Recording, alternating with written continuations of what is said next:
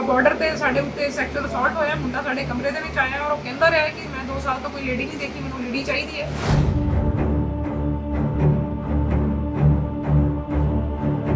ITBP lady ਅਫਸਰ ਕਰੁਣਾਜੀਤ ਕੌਰ, ਜਿਨ੍ਹਾਂ ਨੇ ਬੀਤੇ ਦਿਨੀ ਆਪਣੇ ਹੀ ਵਿਭਾਗ ਤੋਂ ਤੰਗ ਆ ਕੇ ਆਪਣੇ ਅਹੁਦੇ ਤੋਂ ਅਸਤੀਫਾ ਦੇ ਦਿੱਤਾ ਸੀ। ਲੇਡੀ ਅਫਸਰ ਕਰੁਣਾਜੀਤ ਮੁਤਾਬਕ ਜਿੱਥੇ ਉਹਨਾਂ ਦੀ ਸੈਕਸ਼ੂਅਲ ਹਰਾਸਮੈਂਟ ਹੋਈ ਉੱਥੇ ਹੀ ਵਿਭਾਗ ਨੇ ਉਹਨਾਂ ਨੂੰ ਮਾਨਸਿਕ ਤੌਰ ਤੇ ਪਰੇਸ਼ਾਨ ਵੀ ਕੀਤਾ। ਵਿਭਾਗ ਵਿੱਚ ਕੋਈ ਵੀ ਕਾਰਵਾਈ ਨਾ ਹੁੰਦਿਆਂ ਵੇਖ ਉਹਨਾਂ ਨੇ ਆਪਣੇ ਅਹੁਦੇ ਤੋਂ ਅਸਤੀਫਾ ਦੇ ਦਿੱਤਾ ਤੇ ਹੁਣ ਕਰੁਣਾਜੀਤ ਕੌਰ ਨੂੰ ਇਨਸਾਫ ਦੀ ਉਮੀਦ ਵੀ ਜਾਗ ਗਈ ਹੈ। ਮੈਂ ਤੁਸੀਂ ਰਿਜ਼ਾਈਨ ਦਿੱਤਾ ਆਈਟੀਬੀਬੀ ਦੇ ਵਿੱਚੋਂ, ਅਫਸਰ ਦੇ ਰੈਂਕ ਤੋਂ। ਕੀ ਕਾਰਨ ਹੋਇਆ ਕਿ ਤੁਹਾਨੂੰ ਅਸਤੀਫਾ ਦੇਣਾ ਪਿਆ? ਤੁਹਾਨੂੰ ਲੱਗਦਾ ਕਿ ਇਨਸਾਫ ਹੁਣ ਮਿਲ ਜਾਏਗਾ? ਉਹਦੇ ਪਿੱਛੇ ਕਾਰਨ ਸੀਗੇ ਜੀ ਜਿਹੜੀ ਮੇਰੀ being a lady mental harassment ਹੋਈ ਹੈ ਔਰ ਮੇਰੀ ਸੈਕਸ਼ੂਅਲ ਹਰਾਸਮੈਂਟ ਹੋਈ ਹੈ। ਔਰ ਜਿੱਥੇ ਤੱਕ ਜਸਟਿਸ ਦੀ ਗੱਲ ਹੈ ਮੈਨੂੰ ਪੂਰਾ ਵਿਸ਼ਵਾਸ ਹੈ ਜਿਹੜਾ ਜਸਟਿਸ ਹੈ ਜ਼ਰੂਰ ਮਿਲੇਗਾ। ਪੂਰਾ ਵਿਸ਼ਵਾਸ ਹੈ ਮੈਨੂੰ ਆਪਣੇ ਮੁਲਕ ਦੀ ਜਿਹੜੀ ਕਾਨੂੰਨੀ ਪ੍ਰਕਿਰਿਆ ਹੈ, ਉਹਦੇ ਵਿੱਚ ਤੇ ਆਪਣੀ ਭਾਰਤ ਸਰਕਾਰ ਦੇ। ਇਸ ਤੋਂ ਬਾਅਦ ਆਈਟੀਬੀਪੀ ਦੀ ਲੇਡੀ ਅਫਸਰ ਕਰੁਣਾਜੀਤ ਕੌਰ ਨੇ ਪੱਤਰਕਾਰਾਂ ਨਾਲ ਇੱਕ ਵਾਰ ਫਿਰ ਉਹ ਕਹਾਣੀ ਦੱਸੀ ਹੈ, ਜੋ ਉਹਨਾਂ ਨਾਲ ਵਾਪਰੀ ਹੈ।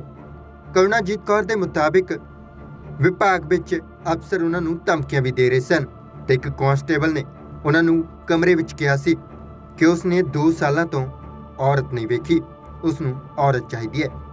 ਕਹਾਣੀ ਲੰਬੀ ਹੈ ਜੀ। ਅਹ ਮੈਂ ਲੀਗਲ ਐਡਵਾਈਜ਼ਰ ਸੀਗੀ ਔਰ ਅਹ, ਇੱਥੇ ਦੇ ਜਿਹੜੇ ਅਧਿ- ਕਈ ਅਧਿਕਾਰੀ ਹੈ ਉਹ ਇਲੀਗਲ ਕੰਮ ਕਰਦੇ ਸੀਗੇ ਤੇ ਮੇਰੇ ਕੋਲ ਫਾਈਲਾਂ ਆਉਂਦੀਆਂ ਸੀ ਤੇ ਉੱਤੇ ਜਦ ਮੈਂ ਕਾਨੂੰਨ ਲਿਖਦੀ ਸੀ ਆਪਣੀ ਲੀਗਲ ਓਪੀਨੀਅਨਸ ਦਿੰਦੀ ਸੀ ਉਹਨਾਂ ਨੂੰ ਪਸੰਦ ਨਹੀਂ ਸੀ ਆਉਂਦੇ। ਔਰ ਅਹ, ਹਮੇਸ਼ਾ ਮੈਨੂੰ ਡਰਾਇਆ ਧਮਕਾਇਆ ਜਾਂਦਾ ਸੀਗਾ। ਔਰ ਮੈਨੂੰ ਸਰੇਆਮ ਇਹ ਵੀ ਕਿਹਾ ਗਿਆ ਸੀ ਕਿ ਤੈਨੂੰ ਅਸੀਂ ਸਿੱਧਾ ਕਰਾਂਗੇ। ਔਰ ਐਸਟੈਬਲਿਸ਼ਮੈਂਟ ਜਦ ਬੰਦੇ ਦੇ ਖਿਲਾਫ ਹੁੰਦੀ ਹੈ ਤਾਂ ਉਹਦਾ ਜੀਣਾ ਮੁਸ਼ਕਿਲ ਹੋ ਜਾਂਦਾ ਹੈ। ਔਰ ਜਿੱਦਨ ਮੇਰੇ ਉੱਤੇ ਫਿਰ ਸੈਕਸ਼ੂਅਲ ਅਸੌਲਟ ਹੋਇਆ ਇੱਕ ਜਵਾਨ ਅੱਧੀ ਰਾਤ ਨੂੰ ਬਾਰਡਰ ਤੇ ਮੈਨੂੰ ਭੇਜਿਆ ਗਿਆ ਤੇ ਮੇਰੇ ਕਮਰੇ ਵਿੱਚ ਆ ਜਾਂਦਾ ਹੈ ਵਿਦਿਨ 10 ਟੂ ਰੇਪ ਉਦੋਂ ਮੈਨੂੰ ਇਹ ਸ਼ਬਦ ਮੇਰੇ ਕੰਨਾਂ 'ਚ ਗੂੰਜ ਰਹੇ ਸੀ, ਜਿਹੜੇ ਮੈਨੂੰ ਕਹੇ ਗਏ ਸੀ। ਇਸੇ ਦੇ ਚਲਦੇ ਮੈਂ ਅਸਤੀਫਾ ਦਿੱਤਾ ਹੈ ਕਿ ਮੈਂ ਇਹ ਲੋਕਾਂ ਨੂੰ ਬਾਹਰ ਆ ਕੇ ਐਕਸਪੋਜ਼ ਕਰ ਸਕਾਂ, ਕਿਉਂਕਿ ਆਰਗੇਨਾਈਜੇਸ਼ਨ ਦੇ ਵਿੱਚ ਰਹਿੰਦੇ ਹੋਏ ਇਹ ਆਰਮ ਫੋਰਸ ਹੈ ਆਈਟੀਬੀਪੀ ਯੂਨੀਅਨ ਆਫ ਇੰਡੀਆ ਦੀ, ਉਹਨਾਂ ਦਾ ਇੱਕ ਪਾਰਟਿਕੂਲਰ ਐਕਟ ਹੈ। ਤੁਹਾਡੇ ਕੋਲ ਇੰਨੀ ਆਜ਼ਾਦੀ ਨਹੀਂ ਹੁੰਦੀ ਕਿ ਤੁਸੀਂ ਆਪਣੀ ਗੱਲ ਜਿਹੜੀ ਹੈਗੀ ਆ ਖੁੱਲ ਕੇ ਕਹਿ ਸਕੋ। ਜੇ ਤੁਸੀਂ ਸਰਕਾਰ ਦੇ ਕੋਲ ਜਾਣਾ ਵੀ ਹੈ, ਤੇ ਥਰੂ ਪ੍ਰੋਪਰ ਚੈਨਲ ਜਾਣਾ ਪੈਂਦਾ ਹੈ। ਮਤਲਬ ਇਹਨਾਂ ਦੇ ਥਰੂ ਮੈਨੂੰ ਜਾਣਾ ਪੈਣਾ ਸੀ ਅਥਾਰਟੀਆਂ ਦੇ। ਜਾਂ ਤਾਂ ਇਹਨਾਂ ਨੇ ਮੇਰਾ ਕਾਗਜ਼ ਕਦੀ ਸਰਕਾਰ ਤੱਕ ਪਹੁੰਚਣ ਨਹੀਂ ਸੀ ਦੇਣਾ, ਔਰ ਜੇ ਸਰਕਾਰ ਤੱਕ ਪਹੁੰਚਦਾ, ਤੇ ਇਹਨਾਂ ਨੂੰ ਪਤਾ ਚੱਲਣਾ ਸੀਗਾ ਕਿ ਮੈਂ ਇਹਨਾਂ ਦੇ ਅਗੇਂਸਟ ਜਾ ਰਹੀ ਹਾਂ। ਤੇ ਮੇਰਾ ਜਿਹੜੀ ਖਤਰਾ ਸੀ ਮੇਰੇ ਲਈ ਉਸ ਅਸਤੀਫਾ ਤੁਹਾਡਾ ਮਨਜ਼ੂਰ ਹੋ ਗਿਆ ਤੇ ਅਸਤੀਫਾ ਦਿੱਤਾ ਕਦੋਂ ਸੀ? ਅਹ ਅਸਤੀਫਾ ਜੀ ਅਹ ਮੈਂ ਜਿਹੜਾ ਐਕਚੁਅਲੀ ਜਦੋਂ ਉਹਨਾਂ ਨੇ ਮੈਨੂੰ ਹਰਾਸ ਕਰਨਾ ਸ਼ੁਰੂ ਕੀਤਾ ਸੀ ਮੈਂਟਲੀ ਮੈਨੂੰ ਪਹਿਲੀ ਵਾਰ ਅਹ, ਮੈਂ ਇਹਨਾਂ ਨੂੰ ਡੇਢ ਕੁ ਸਾਲ ਪਹਿਲੇ ਮੈਨੂੰ ਪਤਾ ਚੱਲ ਰਿਹਾ ਸੀਗਾ ਕਿ ਲੀਗਲ ਅਫਸਰਾਂ ਨੂੰ ਬਾਰਡਰ ਤੇ ਭੇਜੂਗੇ। ਤੇ ਮੈਂ ਉਦੋਂ ਦਰਖਾਸਤ ਕੀਤੀ ਸੀ ਕਿ ਮੈਂ ਕੱਲੀ ਆਪਣੇ ਬੱਚੇ ਨੂੰ ਲੈ ਕੇ ਰਹਿਣੀ ਆ ਮੇਰੀ ਬੇਟੀ ਹੈ ਛੋਟੀ 6 ਸਾਲ ਦੀ। ਅਹ, ਮੇਰੀ ਵਿਜ਼ਿਟ ਇਸ ਹਿਸਾਬ ਨਾਲ ਲਗਾਈ ਜਾਏ ਕਿ ਮੇਰੇ ਬੱਚੇ ਦੀ ਛੁੱਟੀਆਂ ਹੋਣ ਸਕੂਲ ਦੀਆਂ। ਪਰ ਇਹਨਾਂ ਨੇ ਜਦੋਂ ਮੈਨੂੰ ਡਰਾਇਆ ਧਮਕਾਇਆ ਜੀ ਜਨਵਰੀ 'ਚ, ਉਸ ਤੋਂ ਬਾਅਦ ਹੀ ਮੈਨੂੰ ਹਰਾਸਮੈਂਟ ਦੇ ਚੱਲਦੇ ਹੀ ਹੋਰ ਹਰਾਸ ਕਰਨ ਦੇ ਲਈ ਆਰਡਰਸ ਕੱਢਦੇ ਕਿ ਮੈਂ 8 ਮਾਰਚ ਨੂੰ ਹੀ ਬਾਰਡਰ ਤੇ ਜਾਵਾਂ। ਉਦੋਂ ਉੱਥੇ ਬਰਫ਼ਬਾਰੀ ਹੁੰਦੀ ਹੈ ਮੈਂ ਬੱਚੇ ਨੂੰ ਛੱਡ ਕੇ ਨਹੀਂ ਜਾ ਸਕਦੀ ਕੋਈ ਫੈਮਿਲੀ ਚ ਉਹਨੂੰ ਦੇਖਣ ਵਾਲਾ ਨਹੀਂ ਸੀਗਾ। ਤੇ ਮੈਂ ਆਪਣੇ ਸੁਪੀਰੀਅਰ ਅਥਾਰਟੀ ਨੂੰ ਦਰਖਾਸਤ ਕੀਤੀ ਸੀ ਕਿ ਮੇਰਾ ਡੈਫਰ ਕਰਾ ਦਿਓ। ਤੇ ਜਦੋਂ ਮੈਂ ਉਹਨਾਂ ਨੂੰ ਇਹ ਰਿਕੁਐਸਟ ਕੀਤਾ ਸੀ ਤੇ ਉਹਨਾਂ ਨੇ ਮੈਨੂੰ ਅੱਗੋਂ ਇਹ ਕਿਹਾ ਸੀ ਕਿ ਜਿਹੜੇ ਤੇਰੇ ਇਮੀਡੀਏਟ ਲੀਗਲ ਅਫਸਰ ਹੈਗੇ ਡਿਪਟੀ ਇੰਸਪੈਕਟਰ ਜਨਰਲ ਜਿਹੜੇ ਦਿੱਲੀ 'ਚ ਬੈਠਦੇ ਆ ਮੈਂ ਤਾਂ ਤੇਰਾ ਅੱਗੇ ਕਰਾ ਦੂੰਗਾ ਪਰ ਉਹ ਤੇਰੇ ਬਹੁਤ ਖਿਲਾਫ ਹੈਗੇ ਆ ਉਹ ਤੇਰਾ ਪਤਾ ਨਹੀਂ ਕੀ ਬਣਾ ਦੋਗੇ। ਤੇ ਜਦੋਂ ਮੈਂ ਇੱਕ ਇੰਸਪੈਕਟਰ ਜਨਰਲ ਦੇ ਮੂੰਹੋਂ ਇਹ ਗੱਲ ਸੁਣੀ ਆਪਣੇ ਬਾਰੇ, ਤੇ ਮੈਂ ਆਪਣੇ ਕਮਰੇ ਜਾ ਕੇ ਆਪਣਾ ਅਸਤੀਫਾ ਟਾਈਪ ਕੀਤਾ ਤੇ ਉਹਨਾਂ ਦੇ ਟੇਬਲ ਤੇ ਰੱਖਤਾ ਸੀ ਮਾਰਚ ਦੀ ਗੱਲ ਹੈ। ਔਰ ਮੈਂ ਉਹਨਾਂ ਨੂੰ ਕਿਹਾ ਸੀ ਕਿ ਠੀਕ ਹੈ, ਮੈਨੂੰ ਆਰਡਰਸ ਮਿਲੇ I have no choice I proceed to the borders ਪਰ ਜਿਹੜਾ ਮੇਰਾ ਅਸਤੀਫਾ ਹੈਗਾ, ਇਹਨੂੰ ਫਾਰਵਰਡ ਕਰ ਦਿੱਤਾ ਜਾਵੇ। ਤੇ ਫਿਰ ਅਗਲੇ ਦਿਨ ਉਹਨਾਂ ਨੇ ਮੈਨੂੰ ਬੁਲਾਇਆ ਔਰ ਉਹਨਾਂ ਨੇ ਕਿਹਾ ਕਿ ਤੂੰ ਆਪਣਾ ਅਸਤੀਫਾ ਪੋਸਟਪੋਨ ਕਰ ਦੇ, ਜਿਹੜੇ ਤੇਰੇ ਗ੍ਰੀਵੈਂਸਸ ਹੈਗੇ, ਕਿਉਂਕਿ ਮੈਂ ਟਾਈਮ ਟੂ ਟਾਈਮ ਆਪਣੇ ਇੰਸਪੈਕਟਰ ਜਨਰਲ ਨੂੰ ਦੱਸਦੀ ਰਹਿੰਦੀ ਸੀ ਕਿ ਮੈਨੂੰ ਮੈਂਟਲੀ ਹਰਾਸ ਕਰ ਰਿਹਾ ਹੈ, ਜਿਹੜੇ ਲੀਗਲ ਬ੍ਰਾਂਚ ਵਾਲੇ ਹੈਗੇ ਦਿੱਲੀ ਦੇ ਵਿੱਚ। ਤੇ ਮੈਨੂੰ ਮੇਰੇ ਆਈਜੀ ਸਾਹਿਬ ਨੇ ਆਸ਼ਵਾਸਨ ਦਵਾਇਆ ਕਿ ਜਿਹੜੀਆਂ ਤੇਰੀਆਂ ਪ੍ਰੋਬਲਮਸ ਹੈਗੀਆਂ ਮੈਂ ਉਹ ਦਿੱਲੀ ਦੇ ਵਿੱਚ ਡਿਸਕਸ ਕਰੂੰਗਾ।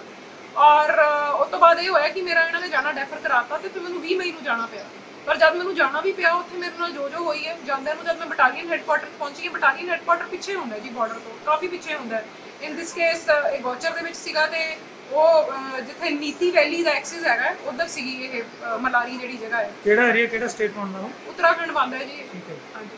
ਤੇ ਜਦ ਮੈਂ ਉੱਥੇ ਪਹੁੰਚੀ ਆ, ਤੇ ਮੈਨੂੰ ਦੱਸਿਆ ਗਿਆ ਕਿ ਉਹਨਾਂ ਨੂੰ ਪਤਾ ਸੀ ਕਿ ਲੇਡੀ ਆਫੀਸਰ ਇੱਕ ਮਹੀਨੇ ਦੀ ਅਟੈਚਮੈਂਟ ਤੇ ਆ ਰਹੀ ਹੈ ਤੇ ਉੱਥੇ ਦੇ ਕਮਾਂਡਿੰਗ ਅਫਸਰ ਮੈਨੂੰ ਜਾਂਦੇ ਹੀ ਕਹਿੰਦੇ 12 ਘੰਟੇ ਮੈਂ ਗੱਡੀ ਚਲਾ ਕੇ ਗਈ ਹਾਂ ਕਿ ਸਾਡੇ ਕੋਲ ਤਾਂ ਕਮਰਾ ਹੈ ਨਹੀਂ ਤੁਹਾਡੇ ਕੋਲ। ਤੇ ਮੈਨੂੰ ਏਦਾਂ ਹੀ ਕੋਈ ਟੁੱਟਾ ਫੁੱਟਾ ਜਿਹਾ ਇੱਕ ਰੂਮ ਦਿੱਤਾ ਗਿਆ ਜੀ। ਫਿਰ ਮੈਨੂੰ ਇੱਕ ਲੇਡੀ ਅਫਸਰ ਦੇ ਨਾਲ ਬਾਰਡਰ ਤੇ ਭੇਜਿਆ ਗਿਆ। ਔਰ ਬਾਰਡਰ ਤੇ ਸਾਡੇ ਉੱਤੇ ਸੈਕਸ਼ੂਅਲ ਅਸੌਲਟ ਹੋਇਆ, ਮੁੰਡਾ ਸਾਡੇ ਕਮਰੇ ਦੇ ਵਿੱਚ ਆਇਆ ਔਰ ਉਹ ਕਹਿੰਦਾ ਰਿਹਾ ਕਿ ਮੈਂ 2 ਸਾਲ ਤੋਂ ਕੋਈ ਲੇਡੀ ਨਹੀਂ ਦੇਖੀ, ਮੈਨੂੰ ਲੇਡੀ ਚਾਹੀਦੀ ਹੈ। ਔਰ ਉਸ ਤੋਂ ਬਾਅਦ ਵੀ ਜਿਹੜਾ ਲੋਕਾਂ ਦਾ ਕੋਈ ਰਿਐਕਸ਼ਨ ਹੀ ਨਹੀਂ ਸੀਗਾ। ਮੈਂ ਕਮਾਂਡਿੰਗ ਅਫਸਰ ਨੂੰ ਫੋਨ ਕੀਤਾ ਉਹ ਸ਼ਰਾਬ ਪੀ ਕੇ ਇਹਨੇ ਹੋ ਰੱਖੇ ਸੀ ਕਿ ਉਹਨਾਂ ਨੂੰ ਗੱਲ ਨਹੀਂ ਸਮਝ ਆਈ ਮੇਰੀ। ਉਸ ਤੋਂ ਬਾਅਦ ਵੀ ਮੈਂ ਕਮਾਂਡਿੰਗ ਅਫਸਰ ਨੇ ਉੱਥੇ ਐਵੀਡੈਂਸ ਵੀ ਟੈਂਪਰ ਕੀਤੀ ਹੈ। ਮੈਂ ਉਹ ਵੀ ਲਿਖ ਕੇ ਆਇਆ ਅਥਾਰਟੀਆਂ ਨੂੰ, ਪਰ ਕਿਸੇ ਨੇ ਕੁਝ ਨਹੀਂ ਕੀਤਾ ਜੀ। ਮੈਂ ਡੀਜੀ ਤੱਕ ਨੂੰ ਮਿਲ ਕੇ ਆਈ ਹਾਂ, ਚਿੱਠੀਆਂ ਲਿਖੀਆਂ ਆ ਕਿਸੇ ਦੀ ਅੱਜ ਤੱਕ ਕੋਈ ਕਾਰਵਾਈ ਨਹੀਂ ਹੋਈ, ਨਾ ਉਸ ਕਮਾਂਡਿੰਗ ਅਫਸਰ ਦੇ ਖਿਲਾਫ। ਜਿਹਨੇ ਐਵੀਡੈਂਸ ਟੈਂਪਰ ਕੀਤੀ ਸੀ ਕਿ ਇਹ ਆਫੈਂਸ ਹੈ ਆਈਪੀਸੀ ਦੇ ਅਧੀਨ ਐਵੀਡੈਂਸ ਨੂੰ ਆਲਟਰ ਕਰਨਾ, ਤੇ ਨਾ ਹੀ ਉਸ ਮੁੰਡੇ ਦੇ ਖਿਲਾਫ ਜਿਹਨੇ ਹੱਥ ਪਾਉਣ ਦੀ ਕੋਸ਼ਿਸ਼ ਕੀਤੀ ਸੀ ਆਪਣੇ ਦੋ ਸੀਨੀਅਰ ਅਫਸਰਾਂ ਦੇ ਉੱਤੇ। ਤੇ ਬਾਹਰ ਵੀ ਜਿਹੜੀ ਮੈਂ ਐਫਆਈਆਰ ਕਰਾਈ ਸੀ ਜੀ ਉਹ ਮੁੰਡੇ ਦੇ ਅਗੇਂਸਟ ਉਹ ਆਪ ਹੀ ਕਰਾਈ ਸੀ। ਤੇ ਐਵੇਂ ਦੀਆਂ ਘਟਨਾਵਾਂ ਹੋਰ ਲੜਕੀਆਂ ਨਾਲ ਵੀ ਵਾਪਰੀਆਂ ਨੇ? ਤੇ ਤੁਹਾਡਾ ਕੇਸ ਨਹੀਂ ਬਹੁਤ ਹੁੰਦੀ ਹੈ ਜੀ। ਕੁਝ ਰਿਪੋਰਟ ਰਿਪੋਰਟ ਹੋ ਜਾਂਦੀ ਹੈ ਕੁਝ ਨਹੀਂ ਹੁੰਦੀਆਂ। ਅਹ ਬਹੁਤ ਜ਼ਿਆਦਾ ਹੈ। ਤੁਸੀਂ ਸੋਚ ਵੀ ਨਹੀਂ ਸਕਦੇ ਸਰਕਾਰ ਇੱਕ ਡਿਸਕ੍ਰੀਟ ਇਨਕੁਆਇਰੀ ਕਰਾਏ ਤਾਂ ਬਹੁਤ ਕੁਝ ਨਿਕਲ ਕੇ ਸਾਹਮਣੇ ਆਇਆ। ਅਸਤੀਫਾ ਮਨਜ਼ੂਰ ਹੋ ਗਿਆ ਤੁਹਾਡਾ? ਮਨਜ਼ੂਰ ਹੋ ਗਿਆ ਜੀ 17 ਅਕਤੂਬਰ ਨੂੰ ਮੈਂ ਰਿਲੀਵ ਹੋ ਗਈ। ਤੇ ਤੁਹਾਡਾ ਸ਼ੁਭ ਨਾਮ ਕੀ ਤੇ ਉਹਦਾ ਕੀ ਸੀ ਐਕਟੀਵੀ ਦੇ ਵਿੱਚ? ਮੇਰਾ ਨਾਮ ਜੀ ਕਰੁਣਾਜੀਤ ਕੌਰ ਹੈ ਔਰ ਮੈਂ ਉੱਥੇ ਡਿਪਟੀ ਕਮਾਂਡੈਂਟ ਕੰਮ ਕਰ ਰਹੀ ਸੀ ਔਰ ਮੇਰਾ ਡੈਜ਼ਿਗਨੇਸ਼ਨ ਡਿਪਟੀ ਜੱਜ ਅਟਾਰਨੀ ਜਨਰਲ ਸੀ।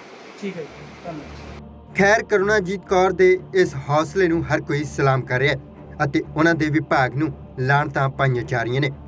ਕਰੁਣਾਜੀਤ ਕੌਰ ਨੇ ਇਹ ਉਜਾਗਰ ਕਰ ਦਿੱਤਾ ਕਿ ਉਹਨਾਂ ਦੇ ਵਿਭਾਗ ਵਿੱਚ ਉਹਨਾਂ ਦੇ ਵਿਭਾਗ ਦੇ ਹੀ ਜਵਾਨ ਕਿਸ ਤਰ੍ਹਾਂ ਲਾਲਚੀ ਕੁੱਤਿਆਂ ਵਾਂਗ ਹੋ ਗਏ ਨੇ। ਉਹਨਾਂ ਕੁੱਤਿਆਂ ਦੀ ਤਰ੍ਹਾਂ ਜਿਹੜੇ ਆਪਣੇ ਲਾਲਚ ਲਈ ਤੇ ਆਪਣੀ ਹਫਸ਼ ਲਈ ਕਿਸੇ ਵੀ ਹੱਦ ਤੱਕ ਜਾ ਸਕਦੇ ਨੇ। ਖੈਰ, ਇਸ ਮਾਮਲੇ ਵਿੱਚ ਕਰੁਣਾਜੀਤ ਕੌਰ ਨੂੰ ਕਦੋਂ ਤੱਕ ਇਨਸਾਫ ਮਿਲਦਾ ਹੈ? ਇਸ ਤੇ ਹਰ ਕੋਈ ਨਜ਼ਰ ਟਿਕਾਈ ਬੈਠਾ ਹੈ। ਬਿਊਰੋ ਰਿਪੋਰਟ, ਪੰਜਾਬੀ ਲੋਕ ਚੈਨਲ।